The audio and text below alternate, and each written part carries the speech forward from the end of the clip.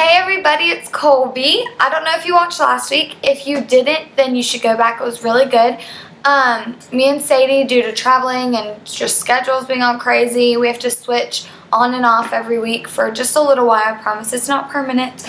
Um, so you have me this week. Hope that's okay.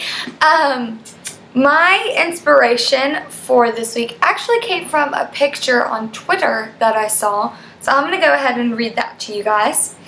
Um, it says, Always see the God in people. No matter what they do or say, love them despite themselves. God created them with love and purpose. See that love in them and not their mistakes. We're not forgiven to walk around with unforgiveness in our hearts. We're forgiven so we can forgive. People make mistakes, but no one person is a mistake. Let us love like Jesus loved. Let our actions bring glory to his name forever and always.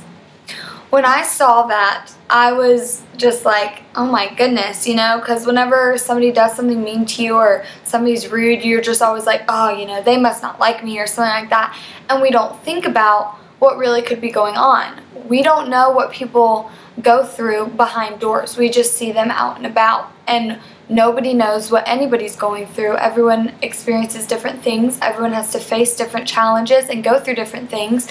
And I just started thinking about the people that I've personally done that with. And I'm just like, wow, she, you know, she's just being rude. She's just a mean person whatever. But then now I, after reading that, I was just like, wow, you should have thought about at the time, I wonder what she's going through or he is going through that's making them act like that because everyone goes through something.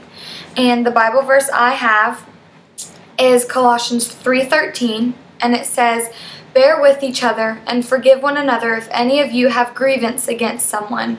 Forgive as the Lord forgave you. And that was the NIV version.